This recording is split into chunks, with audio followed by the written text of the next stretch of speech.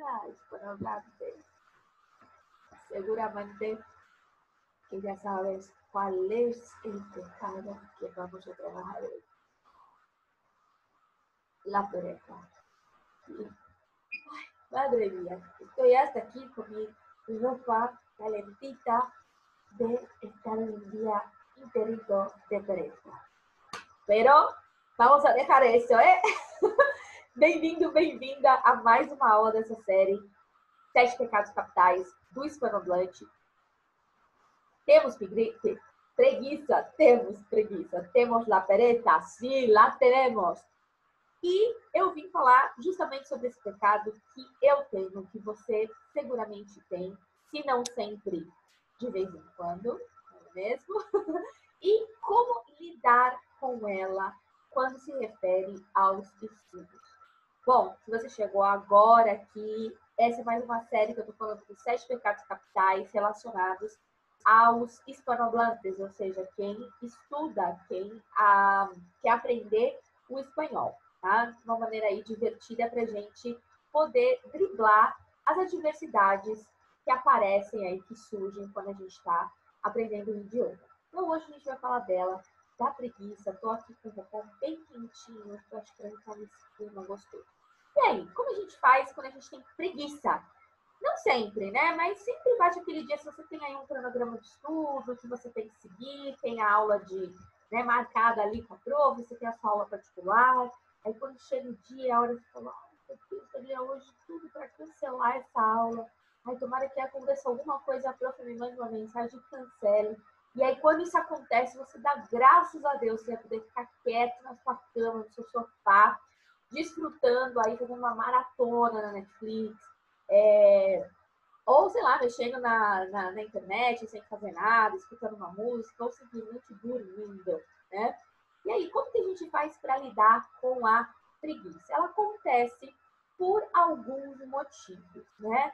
É, tem aquela preguiça positiva, que é quando você está realmente muito cansado, porque você foi é, bastante produtivo, estudou, trabalhou, e aí bate aquele cansaço mesmo que não te dá muito ânimo de fazer as coisas, que é algo natural que o seu corpo reaciona, né, para você poder realmente descansar, para você é, renovar suas energias. E tem aquela preguiça que não é a, né, não é tão boa, que é aquela preguiça permanente, constante, que dia após dia você se arrasta, literalmente se arrasta para conseguir fazer as coisas. E aí, como é que faz em relação aos estudos, né? Eu já tive diversos alunos é, com esses sintomas da preguiça e é importante a gente observar o que, que da rotina da pessoa que ela faz aí constantemente que pode fazer com que ela tenha mais preguiça. Então, a primeira coisa dormir. Tem gente que acha que dormir é bobeira, que dormir é besteira, que, ou fala, não, porque eu não tenho tempo mesmo para dormir, é, eu, eu, levanto cedo porque eu tenho que trabalhar, porque eu trabalho longe, depois eu já emendo na, na faculdade à noite, ou eu faço um curso à tarde, ou vice-versa, trabalha cedo e, e é, é, estuda de manhã e trabalha até tarde, não tem muito horário. Só que a gente precisa priorizar. Se a gente quer estudar com qualidade, aprender o idioma, a gente vai precisar priorizar o sono. Cada um, cada, cada organismo tem uma necessidade diferente. Tá? Tem pessoas que realmente precisam dormir menos, né? Não, não, não precisam dormir aí oito horas para se restabelecer. Oito horas é a média, tá? Tem gente que precisa um pouco menos, seis horas, quatro horas. Já conheci pessoas que com quatro horas ela está extremamente recarregada e tem gente que precisa um pouco mais. No meu caso, eu de 8 a 10 horas, dependendo da situação do dia, mas eu preciso um pouquinho mais para eu conseguir me restabelecer, tá? É, e tudo bem, tá? Tem gente que fala assim, ah, você dorme muitas horas, você é preguiçosa. Não, às vezes a pessoa precisa de mais tempo mesmo para recarregar as energias, né? É, outra coisa, além do sono, é a alimentação. Existe aí alguns alimentos, principalmente os carboidratos, que se você consome antes de estudar, né, carrão, é, arroz, feijoada, né? Você como que prato de feijoada, é, meio-dia, e aí uma hora você tem aula, né? Ou você quer fazer aula no sábado, eu já tive muitos alunos de sábado que tinha aquele prato de macarronada, né, meio-dia, e aí uma hora da tarde tinha aula também, ah, morrendo, não conseguia nem responder o próprio nome. Então, alimentação também é algo que a gente tem que prestar atenção quando vai estudar. Isso significa que você não pode comer? Não, você pode comer a feijoada, você pode comer o macarrão, mas observa, você vai comer e logo em seguida você vai tomar aula, então come menos. Ou deixa para comer depois, né? Come um lanchinho, alguma coisa mais leve, come uma fruta para dar uma tapiada, é, come um suco, enfim. Ou come uma, uma quantidade menor e depois da aula, aí sim, você aproveita e volta para a Najac e já emenda aí o sábado com o domingo até a segunda-feira, tá? Então, sono, alimentação, exercício físico. A pessoa também que não tem uma rotina de atividade física, de andar, de se movimentar, ela também vai ter prejuízo na hora de aprender. Lembrando que a atividade física, ela aumenta a oxigenação do cérebro e com isso faz com que novas conexões, novas sinapses, né? O que são as sinapses? Essas são é, a questão da inteligência. Ele fala, ah, fulano é inteligente. Não, ele tem muitas sinapses, a pessoa consegue pensar rápido, responder rápido. E quando a gente está falando de idiomas, a gente precisa dessas novas conexões diariamente. E o exercício físico é uma dessas fontes, tá? É, de, de você poder oxigenar bastante o seu cérebro e é, conseguir ter uma produção melhor, bom? E isso faz toda a diferença. Eu já tive alunos que faziam uma atividade física de manhã, por exemplo, caminhar mesmo. Fazia caminhada lá às 6, 7 horas da manhã e logo em seguida chegava em casa, tomava um banho, às vezes nem tomava banho, já ligava o computador e já ia fazer aula. O rendimento da aula é muito maior. Por quê? O cérebro está oxigenado, então toda informação que entrar, que ele receber, visual, auditivo, ele vai fazer conexões mais rápidas, tá bom? É... Está estressado. Se você está estressado, estressada com alguma coisa, está com algum problema, isso vai também interferir na hora de aprender, porque vai mexer com a concentração. Você vai ficar pensando naquele problema, na pessoa que está doente, na falta de dinheiro, nas contas para pagar, né? Então, tudo isso vai também influenciar. Essas são algumas das características. Como é que faz, então, para vencer a preguiça, né? Do dia a dia. Então, a gente tem alguns recursos. Uma delas é a âncora. Uma âncora. Pode ser uma música, pode ser um momento de relaxamento, uma meditação, pode ser uma frase que te dê um impacto, que te dê aquele ânimo, tá? É, essas são geralmente as âncoras principais, uma música ou uma frase ou uma imagem, tá? É, alguns alunos colocam também uma imagem alegre, seja do filho, seja de um cachorrinho, de um gatinho, da natureza, alguma imagem que te traga um bem-estar. Tá olhando ali um, dois minutinhos para aquela imagem, foi uma música que te eleva, uma música pode ser uma música animada ou uma música mais suave para te relaxar se você é uma pessoa mais pilhada ou se você está com muita preguiça, aí você põe uma música mais agitada para te elevar, tá? Essa é a âncora, isso é um, é um exercício que eu, eu faço com os alunos no coaching de idiomas, tá? Que são aí algumas ferramentas que a gente utiliza na hora que a gente percebe que identifica primeiro e depois exercita é, todas as dificuldades, os empecilhos, aquilo que trava a pessoa de progredir, de produzir, de falar ou de escrever ou qualquer outra habilidade de língua estrangeira, tá bom? Então, como que a gente pode vencer a preguiça? Com a persistência, ou, como diria em espanhol, a diligência que é o quê? Ser paciente. Então, não é olhar para a preguiça e fingir que ela não existe. Não, você precisa olhar para essa sensação, acolher, entender por que, que você está com preguiça. Então, é, ah, é só porque realmente eu não estou afim, ou porque eu comi demais, ou porque eu trabalhei demais, ou porque eu estou bastante estressado ou preocupado com alguma coisa, né? É, ou porque já faz muito tempo, essa foi uma semana que eu não consegui fazer atividade física. Então, tudo isso repercute. É olhar, acolher e usar uma ferramenta, aí uma âncora para, é, enfim, elevar a energia e conseguir fazer a aula. Bueno, yo he separado hoy para nuestra clase de la pereza un ejercicio muy sencillo, muy fácil, y la clase me parece también que será así súper tranquila, para trabajar en la pereza. Y vamos a trabajar una poesía. Sí, la poesía siempre es muy hablada. Voy a compartir mi pantalla por aquí. Mira. Tenemos aquí un poema un soneto en la realidad, a la pereza. ¿Sí? Y la poesía es una buena opción para trabajar ritmo y pronunciación, porque la lectura de una poesía necesita un ritmo diferente, ¿sí? un ritmo diferente uh, en cada frase, en cada palabra, ¿bien? Entonces vamos a ver aquí una poesía hecha para la pereza. Y vamos a ver un poquito de vocabulario, un poquito aquí en relación a la conexión de algunas palabras, ¿bien? Empezamos así. Qué dulce es una cama regalada.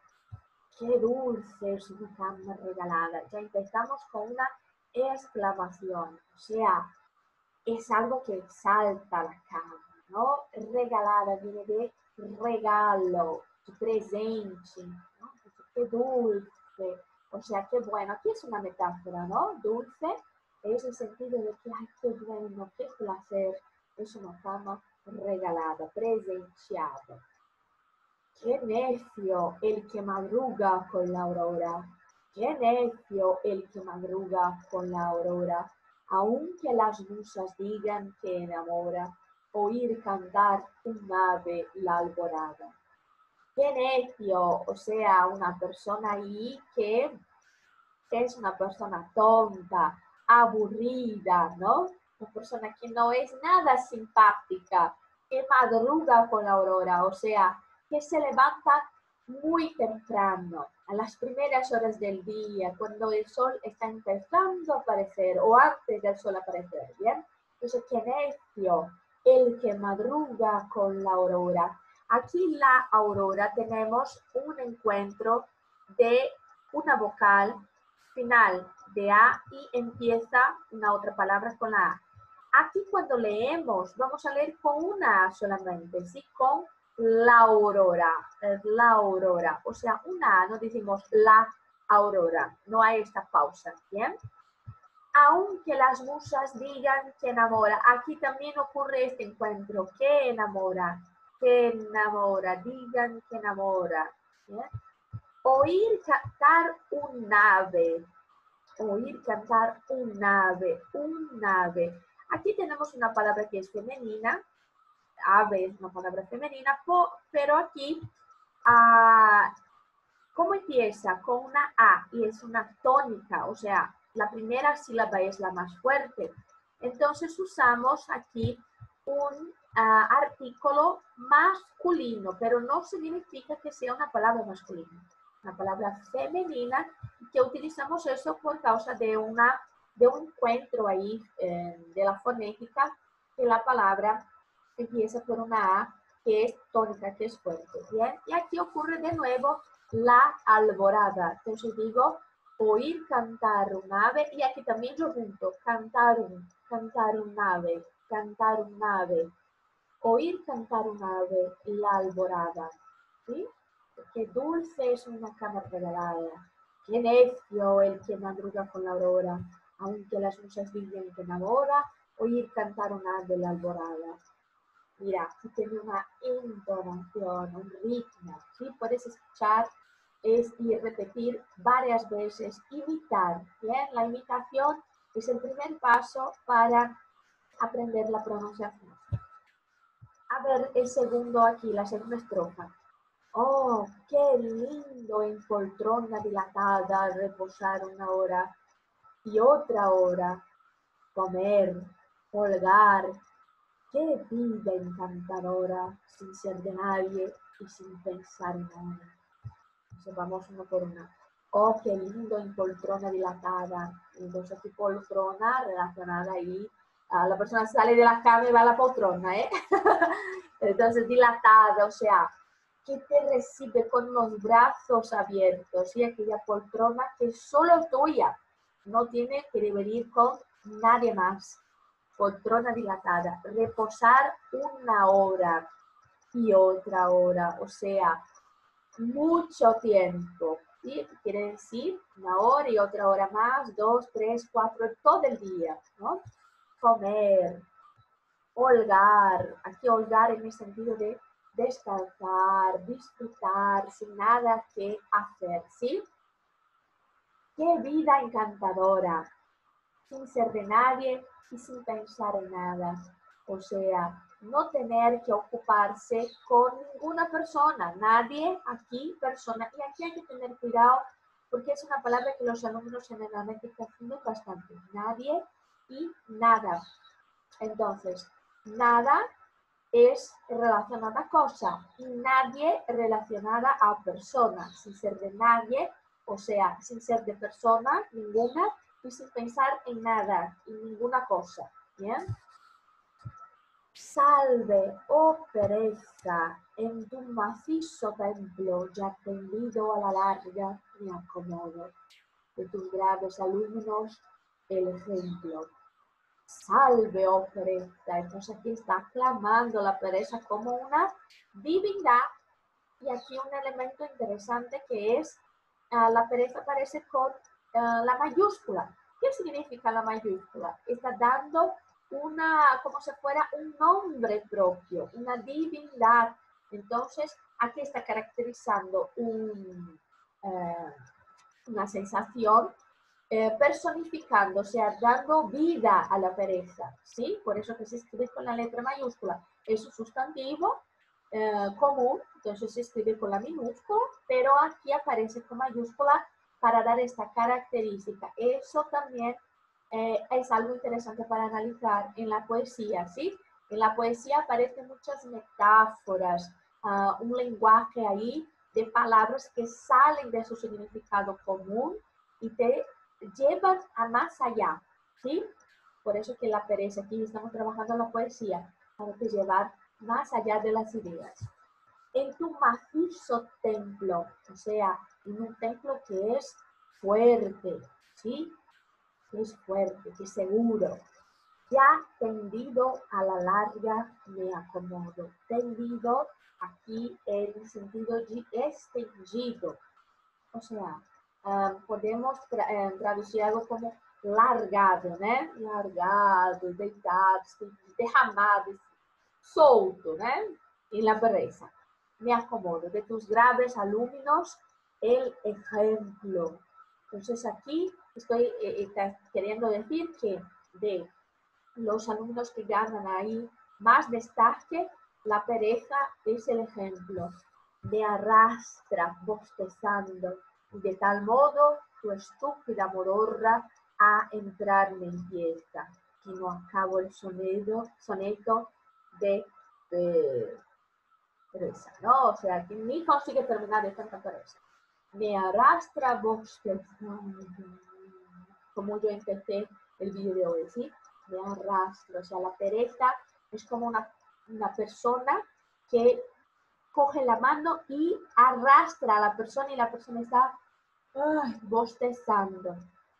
De tal modo tu estúpida modorra a entrarme empieza. O sea, como uh, es un templo, ¿no? Entonces esta modorra, esta, este lugar eh, que aparece delante de la persona y entra dentro de ella. O sea, es un templo que está afuera y empieza a entrar en la persona y la propia persona se transforma en la pereza, ¿sí? Y la persona no termina aquí el soneto de pereza. Bien. Bueno, entonces aquí un pequeño ejercicio, un texto cortito, una, uh, un soneto, ¿no? Una poesía que Ah, se puede aprender ahí un montón de palabras nuevas, ¿sí? O sea, de metáforas. Ah, también el modo de leer las palabras, eso llamamos en inglés de link, o hacemos ahí la función de vocales, de consonantes con vocales, ¿sí? Entonces aquí, por ejemplo, de tus graves alumnos el ejemplo. Gravesa, Graves alumnos el, graves alumnos el ejemplo, L, el ejemplo. yo leo todo junto, de tus graves alumnos el ejemplo, y no de tus graves alumnos el ejemplo, de tus graves alumnos el ejemplo. Mira, no hay pausas en la lectura, se lee por bloques, ¿bien? Entonces, esta es una técnica de lectura, de ritmo, de pronunciación que se puede utilizar ah, en textos mayores, menores. La idea es estudiar con frecuencia, poco a poco, ¿sí? Un ejercicio como este puedes hacer a lo largo de una semana. Cada día lees una frase o puedes leer una, leer una estrofa. Como soneto tenemos cuatro, cuatro partes aquí, entonces puedes leer una parte cada día, ¿sí? Y después repetirla. Entonces, esta es una manera de estudiar, de vencer a pereza. Bom, então é isso. A preguiça, ela existe. Perdão. A, a preguiça existe e a gente precisa vencê-la, tá bom? Espero que vocês tenham gostado. Amanhã a gente tem mais um pecado capital do hispanohablante. É, fica ligado aí, se você quer o material complementar que tem essa poesia, é, é só você acessar aí embaixo na descrição, tem um link para você entrar lá no meu canal do Telegram e ter disponível é, não só o material dessa aula, como das aulas anteriores e das próximas aulas também, tá bom? Lembre-se de compartilhar. Se você conhece alguém que gosta de espanhol, que queira estudar espanhol, ou que já tenha conhecimento, mas que não consegue aí manter um ritmo de estudo, aqui são algumas técnicas para ajudar a pessoa a vencer aí os pecados capitais que nós temos, todos nós somos pecadores, tá certo? É, se você gostou dessa aula, então deixa aí o seu comentário ou deixa aí é, um, um, like, como costuma dizer, né? Deixa um like para eu saber que essa aula foi legal, que foi bacana, que te ajudou e compartilhe. Nos vemos amanhã. Um beijinho e até a próxima.